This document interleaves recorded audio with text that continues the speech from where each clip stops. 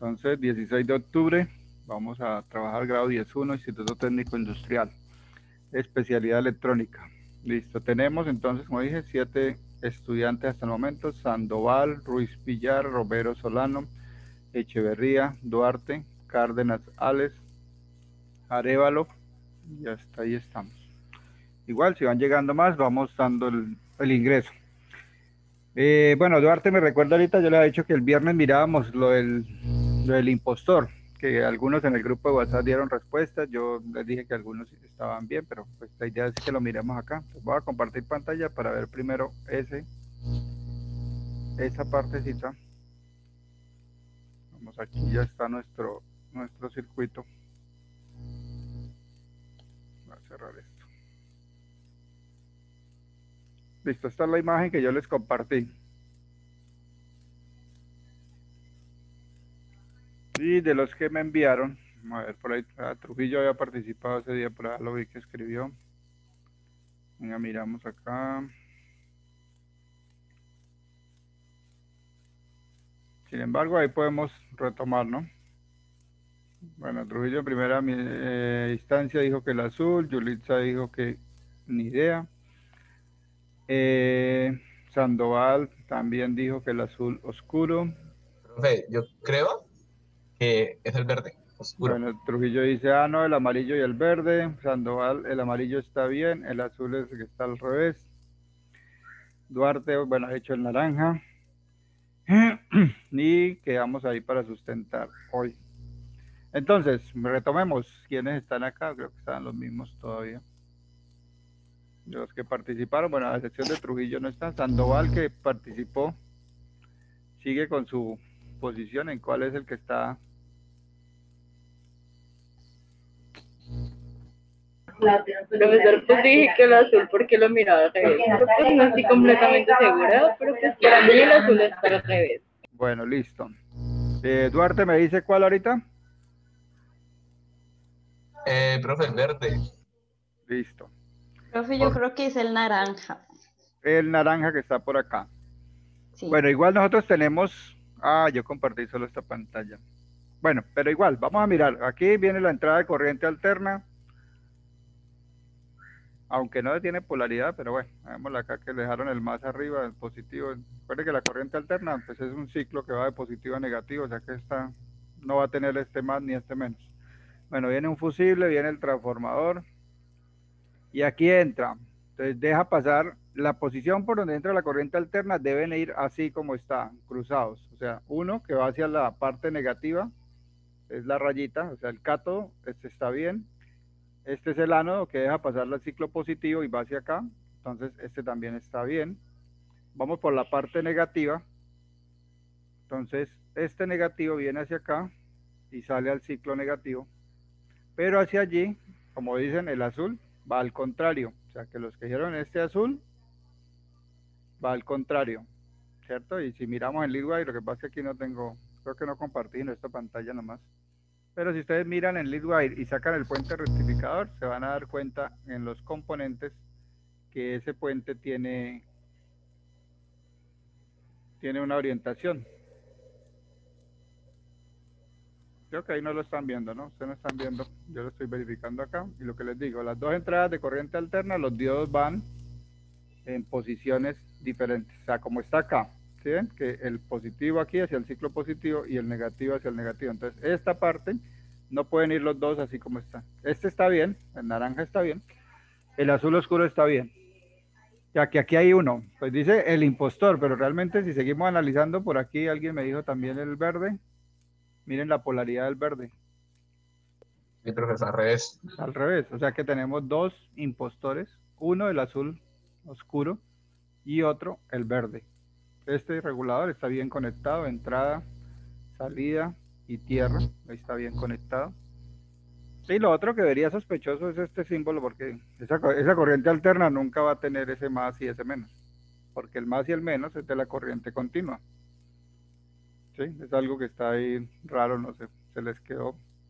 Aunque algunos hay veces le dejan ahí como el más para indicar la polaridad, pero realmente la corriente alterna hablan de la fase, ¿no? Pero si usted mide eso, realmente es un ciclo, es una onda seno, o sea, ella va a estar subiendo a, a más 120, bajando por cero, pasando por menos 120. Listo, entonces vamos a dejarlo así. Sería este azul y el verde. Esos dos serían los, los impostores en este caso. Bueno, aquí no tenemos nadie más. Voy a compartirles, eh, quedamos de los 12 minutos del video. No sé si, bueno, había un grupo pendiente, los que no entregaron. Habíamos dicho si tienen para socializar. No vi más entregas. O sea, no creo que lo hayan realizado. Tampoco veo por aquí. Creo una pregunta, ¿se va a dejar espacio para entregar mallas 3? Sí, claro. Es que se lo, hasta ahora lo vamos a ver. Porque no lo hemos, no lo hemos activado, digamos, hasta Yo ahora. lo hice, profesor. ¿Cuál hizo? ¿El de los tres? El, ma- el malla 3. Me demoré hartísimo, uy, profe, por eliminación. Ah, bueno, pero eso es importante. No, ese, pues ya usted lo que tiene es el fin de semana, no tendría que dedicarse a eso, porque el plazo va hasta el lunes. O sea, ahorita miramos cómo hasta las ecuaciones. Y la idea es que lo hagan por un método. Pues si lo hace por determinantes, inclusive hay aplicaciones en internet que usted le da la, el determin- la matriz y ya le calcula los determinantes. Acuérdense que la vez pasada vimos una página de internet. Pero la idea es que ustedes lo solucionen, digamos así, con el video. No sé si miró el video del profe Julio, donde primero se reduce, que queda un sistema de 2 por 2 y luego se empieza usted a devolverse, a, reemplazar las variables, las que va encontrando en cada uno de los circuitos. Listo, entonces voy a compartirles, como dijimos, ese videito iban 12 minutos.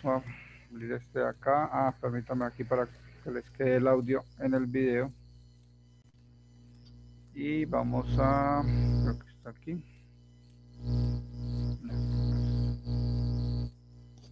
Por acá.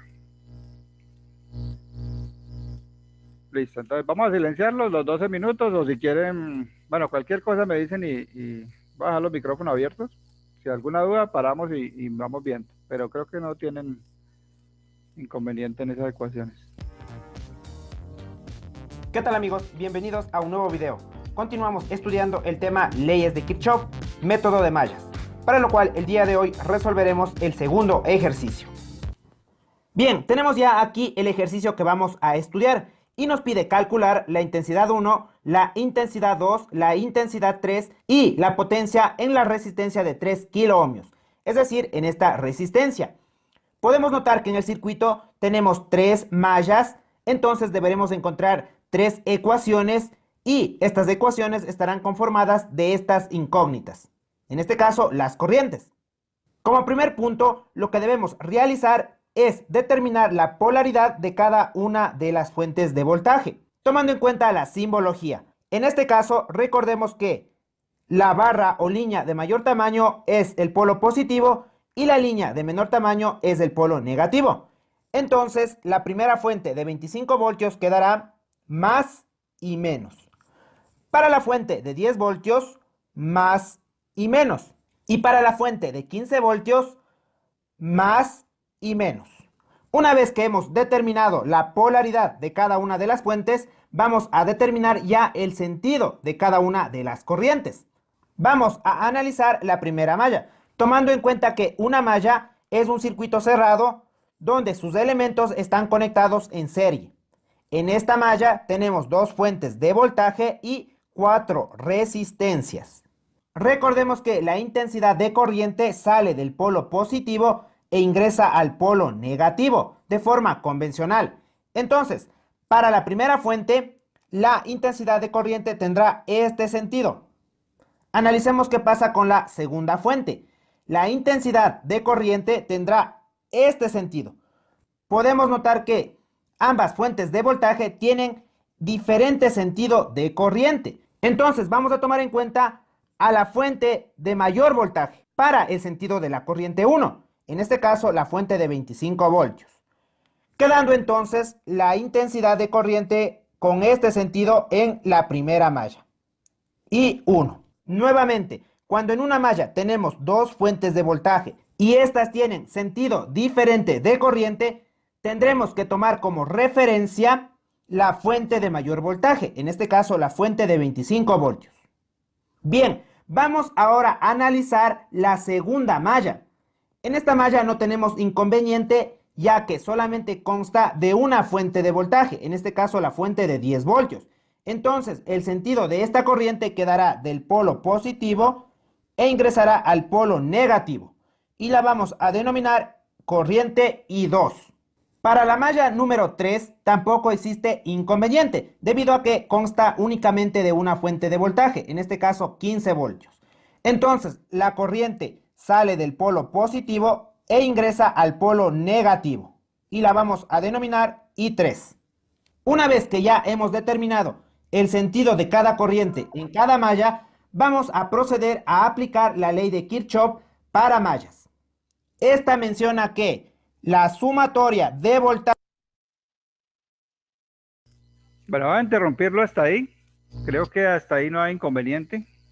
Están planteadas las tres mallas y ya se identificó el flujo de corriente en cada malla. Aquí hay una novedad, ya en el siguiente paso lo van a ver, que las dos fuentes, la de 25 y la de 10, ahora están en el mismo sentido. Acuerden que la vez pasada el positivo de una conectaba con el negativo de la otra y en ese caso se sumaban. Aquí van a ver que se restan y entonces hay que tener en cuenta ese paso. Entonces vamos a ver que plantean la primera ecuación y las otras también. Igual, como todas estas resistencias están en serie, también se va a usar que yo puedo sumarlas ¿ya? Porque todas influyen en la malla y van a ver ahí el paso. Entonces voy a dejar que haga esa ecuación y miramos el, proceso.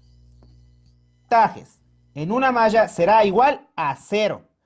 Recordemos que el método de mallas viene relacionado con sumatoria de voltajes, donde las incógnitas serán las corrientes.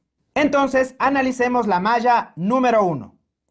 Sumatoria de voltajes es igual a sumatoria de intensidad de corriente por resistencia.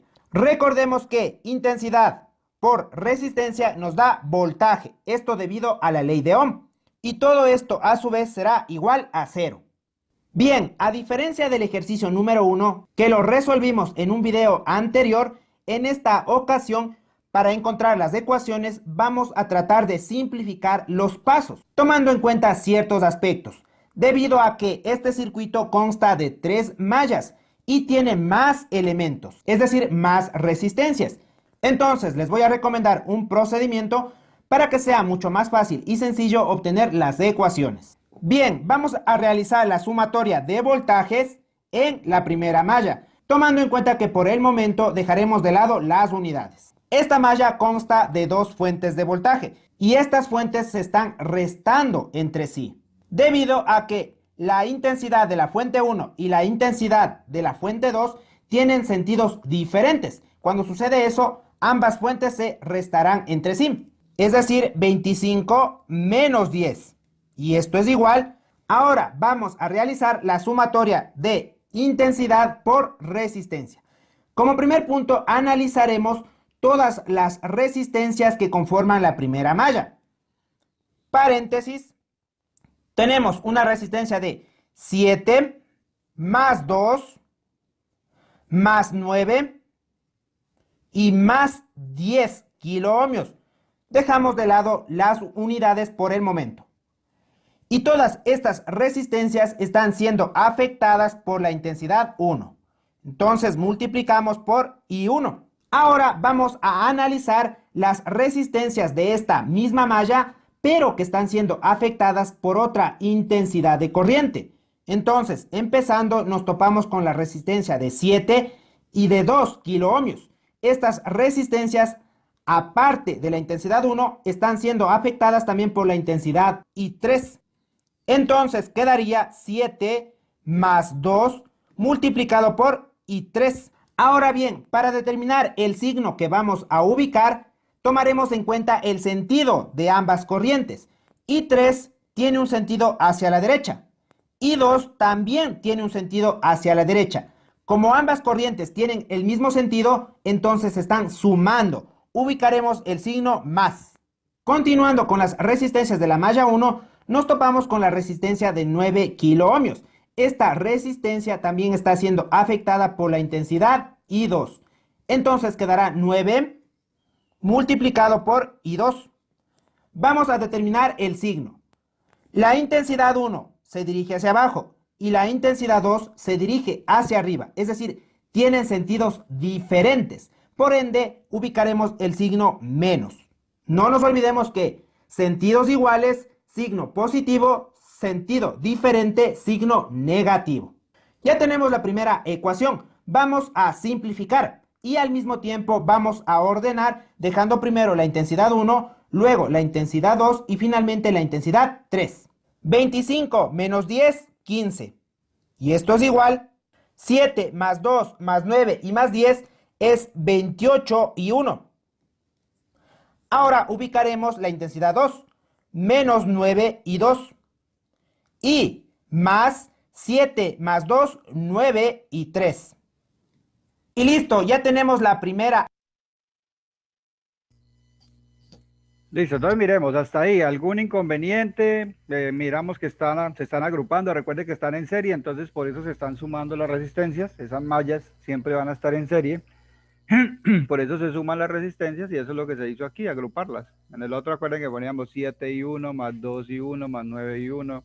Y entre paréntesis se ubicaban las dos que estaban compartidas. Entonces aquí lo que está haciendo es cuáles afectan I1, cuáles afectan I3 y cuáles afectan I2. Y ya al reducirla, miren que la ecuación quedó y lo que dijimos, dejarla ordenada. I1, I2, I3. Listo. Ya las otras dos ecuaciones son un poco más sencillas. Esta es la que tenía las dos fuentes que se restan. Las otras vamos a ver que solo tienen una fuente y menos resistencias. También inciden de la otra malla, entonces vamos a mirar ahí esa parte ecuación perteneciente a la primera malla. Vamos a encontrar las dos ecuaciones restantes. Malla número 2. Sumatoria de voltajes es igual a la sumatoria de la intensidad multiplicado por la resistencia. Intensidad por resistencia me da voltaje y a su vez toda esta expresión será igual a cero. De la misma manera vamos a dejar de lado las unidades. En esta malla tenemos una única fuente, entonces 10 que es voltaje, será igual. Y ahora realizamos la sumatoria de las corrientes por la resistencia, tomando en cuenta la recomendación que utilizamos en la malla número 1. Como primer punto, analizaremos todas las resistencias que conforman esta malla. Tenemos 9, paréntesis 9, más 3 y más 6. Y esto multiplicado por la intensidad 2, debido a que esta intensidad pasa a través de toda esta malla. Entonces, I2. Ahora analizaremos las resistencias de la malla 2 que están siendo afectadas por otra intensidad de corriente.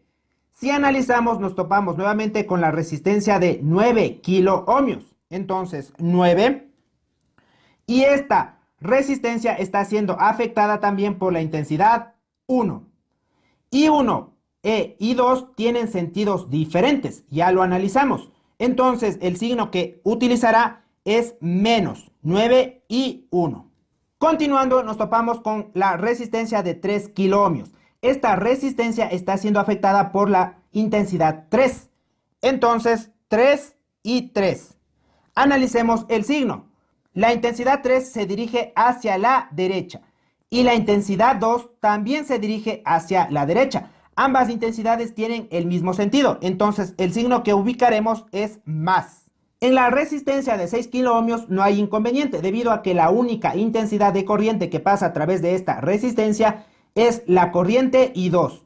Y ese análisis ya se encuentra en el primer término, 6 y 2. Vamos ahora a simplificar esta ecuación. Y ordenando, primero ubicaremos la intensidad 1, es decir, menos 9 y 1. Ahora vamos a ubicar la intensidad 2, más 9 más 3 y más 6, 18 y 2. Dejando al final la intensidad y 3, más 3 y 3. Y listo, ya tenemos la segunda ecuación. Vamos a finalizar con la malla número 3, que es esta malla. Sumatoria de voltajes es igual a la sumatoria de la intensidad por la resistencia.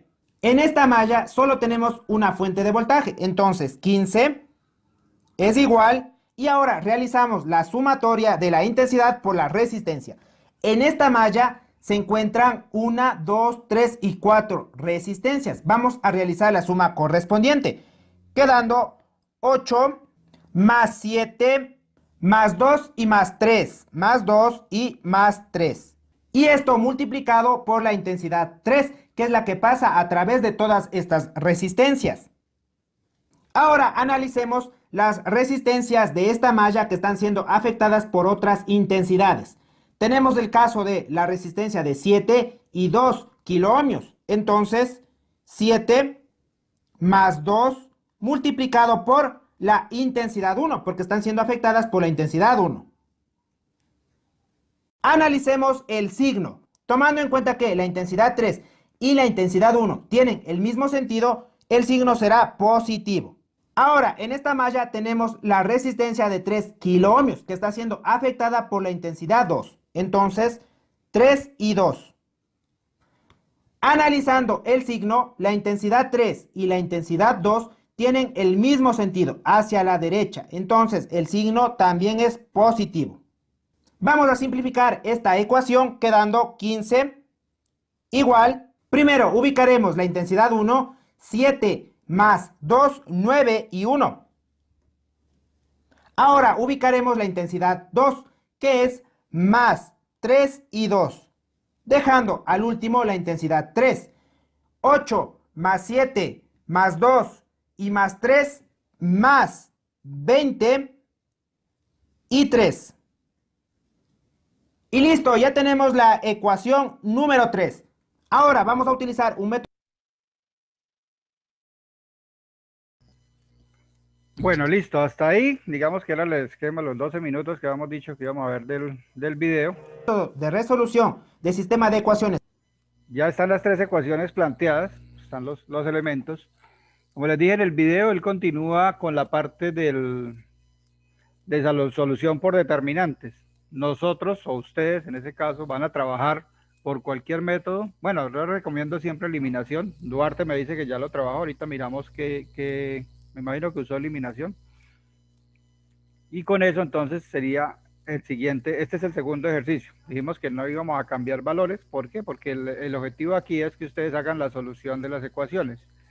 Si vieron en Classroom, yo les dejé un videito también de, creo que fue el profe Julio, donde les muestra el sistema de, tres ecuaciones. Pronto ahorita miramos un poco de ese para que ustedes, eh, ¿quiénes ya vieron el video? ¿O quiénes han visto en Classroom que publicamos allá ese video? Que yo lo agregué ahí ayer.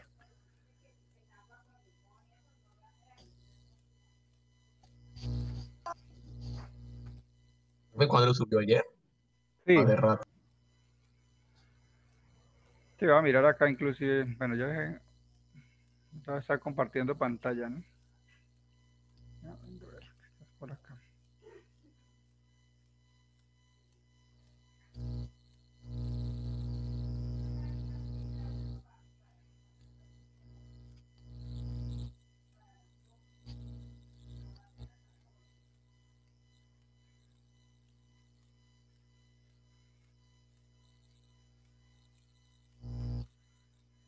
Aquí ya hicieron una entrega, el grupo que mostró lo de mallas, abrir aquí para, para tener acceso a, a Classroom. Y digamos que ahí en las mallas que les había dejado, ya hay cuatro entregas.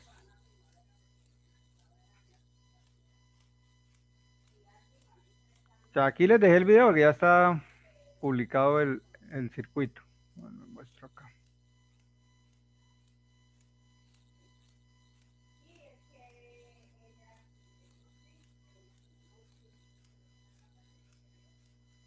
Acá al final está el sistema de ecuaciones de 3x3. Ya miramos quién es el autor para que tengan los... Sí, el profe, bueno, Julio, profe. Tenemos en este caso lo que se llama un sistema de ecuaciones lineales de 3 Ah, sí, profe, ya lo vi. Observamos tres ecuaciones con tres incógnitas que son las letras A, B. Este se lo voy a recomendar para que ustedes pues lo vean. Igual pueden tener otro, ¿no? Este es bueno porque es lo, que le digo. Y utiliza eliminación. Yo también recomiendo mucho eliminación, lo que les digo. Y ves, pues se crecen algunas ecuaciones. Si ve que lo puede hacer por otra. Entonces aquí, digamos, básicamente son, ¿qué? Ocho minutos lo que demora el, el video que lo hagan ahí. Y eso es lo que ustedes tienen. En este momento ustedes tienen tres ecuaciones igual que está acá, con tres incógnitas, que aquí las llamó A, B y C. Para ustedes es I1, I2 y I3. Y ahí están sus tres ecuaciones. Entonces el paso a paso les va indicando ahí cómo se va eliminando, digamos, una de las dos. Hay que eliminarla en dos ecuaciones para que nos quede un sistema de 2 por 2. Y cuando ya tengan el sistema de 2 por 2, ahí van a tener, miren, acá ya quedó con A y con C. Sea, salieron estas dos ecuaciones. Ahí ya aplican el sistema que ustedes conocen para hallar las variables. Primero hallan una A, luego hallan C, y cuando ya tienen las dos, se devuelven a una ecuación original y la reemplazan y encuentran la otra variable. ¿Ya? Entonces, ¿cuál es la idea? Que no me usen determinantes. ¿Por qué? Porque, pues, bueno, determinantes los tiene ahí y determinantes, pues también los trae en internet. Digamos que hay sitios donde usted le da la, la matriz y nos soluciona. La idea es que ustedes hagan el proceso y documenten el proceso. Por eso le vamos a dejar espacio, inclusive a partir de, de hoy. Yo les he dicho que el lunes eh, tenemos la actividad del sindical que es martes y miércoles. Y si no, pues si, no sé, bueno, miramos el lunes, dejémoslo hasta el lunes, aunque Duarte me dice que creo que ya, ya tiene ese proceso. Aquí está, ¿no? Están los ejercicios, está el ejercicio de las tres mallas, ese va aquí también, aquí debe quedar la entrega de ese. Y luego ya el siguiente ejercicio es el que vamos a dejar planteado y ese sí lo podemos, el lunes lo planteamos y lo dejamos por allá para el viernes. voy a dejar de compartir pantalla acá. Y vamos a mirar quién más llegó. Por aquí alguien llegó. Rincón, creo que fue el que llegó. Entonces ya tenemos ocho. Listo. ¿Preguntas? Por mí no, profe. Ah, bueno, Duarte me dijo que había trabajado el ejercicio. Sí, señor. ¿Tiene ahí o hizo entrega o tiene para compartir y miramos cuánto nos queda? Aquí nos queda tiempo. Ahí lo tengo ahí. ¿Comparto pantalla? Pero ya le habilito acá. Ah, sí, hágale, ya ahí puede compartir pantalla y miramos. ¿Ya están viendo? Sí, ahí se ve. Bueno, entonces eh, lo que hice fue pues, tomar pantallazo, ¿no? Desde el circuito, todo, identificar las, las intensidades, todo. Y pues las, plantear las que, las ecuaciones. son tres ecuaciones, uno, dos y tres. Entonces yo lo hice por eliminación, pero es que eh, tardé hartísimo por eliminación, tres por tres. Imagínense eh, mallas cuatro, el doble voy a, tardar. Entonces, eh, aquí están las ecuaciones que hice, pues, lo, lo organicé y, y lo resolví. Primero, pues yo elegí dos ecuaciones. Entonces, eh, elegí el primero y el tercero para cancelar intensidad 2. Yo me fui por intensidad 2 para eliminarlo.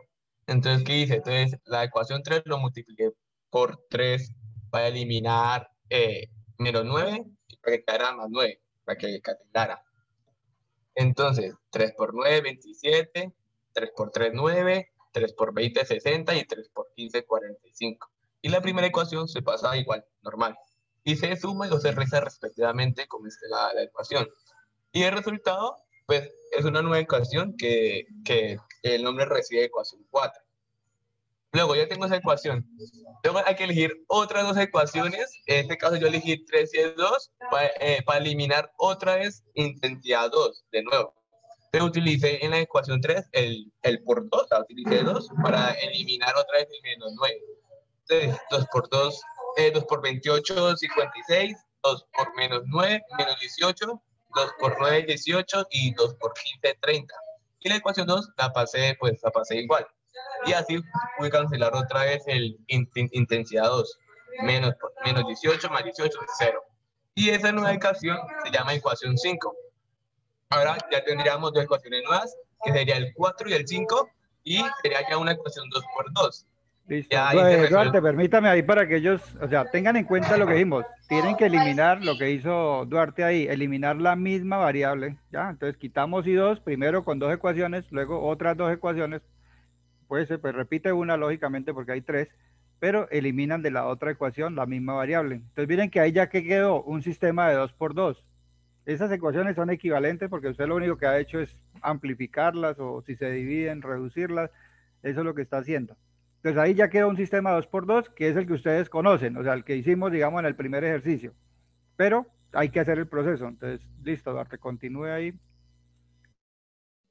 Bueno, y ahora sí tenemos ya una ecuación 2x2 eh, que todos conocemos. Entonces yo aquí quise eh, eliminar intensidad 1. Entonces, ¿qué hice? Pues lo multipliqué inversamente, menos 47 por 55 y 55 por 47. Que eso da pues, menos 2585 eh, menos 47 por 69 da menos 3.243 y menos 47 por 60 da menos, menos 2.820. Y así con el 55. 55 por 47 da 2.585. Uno negativo, uno positivo, por lo cual se cancela y queda cero. Y con 55 eh, por 21 da 1.500, 1.100, eh, 1.155 y 55 por 40, pues 2.200. Luego ya se cancela la intensidad 1, dividimos, eh, dividimos, dividimos eh, menos 620 por 2088, y eso, eso, es igual a, a 1000 amperios, por lo cual me dio 0,296. Luego teniendo ese valor intensidad 3, podemos reemplazar, pero solo reemplazamos la ecuación 4 o la ecuación 5. Aquí reemplacé la ecuación 4. Entonces, donde iba intensidad 3, pues la reemplazamos por 0,296. Y hacemos el despeje común y corriente. Ahí está, bajamos el 55, 69 eh, por 0,296 a 20,424 igual a 60 voltios, bajamos el 55. Aquí el 60 lo dejé quieto y el 20,420, el 24 eh, está positivo, lo pasé a restar para que, se, para que para, para seguir despejando la ecuación. Entonces, eso da un resultado de 39,576 voltios. Y por último, dividir los 39,576 voltios por los 55. Que eso va, y ese sería intensidad 1, que da 0,719 miliamperios. Ya tenemos intensidad 1 y intensidad 3. Entonces, ahora, ¿qué hacemos? Elegimos una de las ecuaciones principales, o sea, las primeras tres yo me elegí la primera, segunda, tercera. En este caso yo elegí pues eh, la primera y donde iba intensidad 1 lo reemplazamos con, con, los valores que ya teníamos. ¿Sí? Entonces 28 por 0,719 da 20,132. la intensidad 2, o sea, el menos 9, la, bajamos, no importa. El 9, eh, 9 por 0,296 da positivo, da 2,664, igual 15 voltios. Luego aquí bajamos el, intensidad, o sea, o sea eh, el 9 negativo, y aquí hacemos una suma o resta de, de, los números. O sea, de 20,132 más 2,664, que es un resultado de 22,766. Igual 15 voltios. Aquí hice lo mismo que arriba. Eh, los 15 voltios lo dejé quieto y el 22,796 que estaba positivo lo pasé a, lo pasé a restar. Y ese valor que da, eh, esa resta, eh, da negativo, da 7,796 eh, voltios, pero negativo, y el menos 9 se sigue bajando. Luego acá pues ya pasa a dividir los menos 7,796 voltios dividido en 9. Y eso da intensidad o sea, 0,866 miliamperios. Luego ya comprobar por, por la simulación, intensidad 1, intensidad 2, intensidad 3. Y acá eh, en, la simulación, pues sí, sí da, profe. Eso sería todo, el proceso para hallar los valores. Eh, listo, Duarte. De pronto devuélvase un poquito donde quedaron las dos ecuaciones, que yo les denombré un término, digamos ahí. Sí, que es 55 y 47 eso que, está haciendo y que hacemos normalmente es amplificar, o sea, yo puedo multiplicar, pero si no quiero que se me crezcan mucho los números, pues también lo puedo dividir, o sea, podría haber dividido en 55, digamos arriba en 47, abajo 55 para anular en vez de multiplicar y lo que va a quedar más pequeño, lo que pasa es que me quedarían fraccionarios, pero igual, como lo estoy haciendo, y debe dar lo mismo, o sea, eso simplemente son procesos que se hacen, bien sea que yo los multiplique, como se hizo acá el 55, multiplicar y el otro con negativo menos 47 o haber dividido y eso también nos daría el mismo, el mismo valor. Listo, eh, abajo en la simulación me lo va a dar las, las condiciones, ustedes los ceros, porque aquí en el simulador, no sé si ahí está prendido bien, pero aquí el simulador me dice microamperios. Tocaría ver las unidades, acuérdense que estaba en kiloohmios, ¿no? Creo que es eso. Él dijo que no tenía en cuenta las unidades, pero aquí de hay que tener en cuenta que esos son kiloohmios. Y como se están tomando como si fuera ohmios, ¿cierto? Usted dijo 7, pero realmente 7 eran 7000. Entonces eso va a afectar porque aquí sí faltan los tres ceros, mire. Yo veo la corriente, me dice microamperios, o sea, no son, si fuera ohmios, serían miliamperios, pero como están en K, son microamperios. Es simplemente unidades, los valores están bien porque ahí ya vemos aquí la de 296, 718 y 885. Listo, miren, básicamente ese es el, ejercicio. Eh, muy bien, Duarte, ahí está todo el proceso. Lo que le digo, ya es la, eh, lo pequeño es mirar eso eh, no es porque estaba, es porque yo puse 7, pero yo sé que era 7K. O sea que al momento que me da la unidad tengo que correrle los tres ceros y no es mili, sino es micro. Es por la, por la, como no se usó completa, que si yo quiero que me dé amperios tendría que haberla hecho por 7000, pero si pongo 7000 en vez de 7, los números, si así eran grandes, los números serían más grandes. Entonces lo que tengo que tener en cuenta es al final la unidad de saber que estaba trabajando en kilohonios y decir que no es miliamperios, sino microamperios. Eh, si quiere vamos de compartir pantalla ahí para mirar ya. Tenemos, terminamos los nueve. No sé si hay alguna pregunta, ya vieron el proceso. Igual lo que dijimos, esto está quedando grabado. Más adelante lo subiré para que ustedes lo tengan como insumo. Ya me dice que menos de un minuto. Entonces, el lunes miramos. Espero que no todos se vayan por eliminación, ¿no? Y pues determinantes no lo vamos a utilizar en este caso. Determinantes los voy a dejar para el último, que es un poco más, más complejo. Pero por ahora necesito que trabajen esos, ese ejercicio. Listo, entonces nos veríamos el lunes. Eso, profe, gracias. Bueno, ok, que estén bien. Vale, profe, muchísimas gracias. Que tenga buen día. gracias.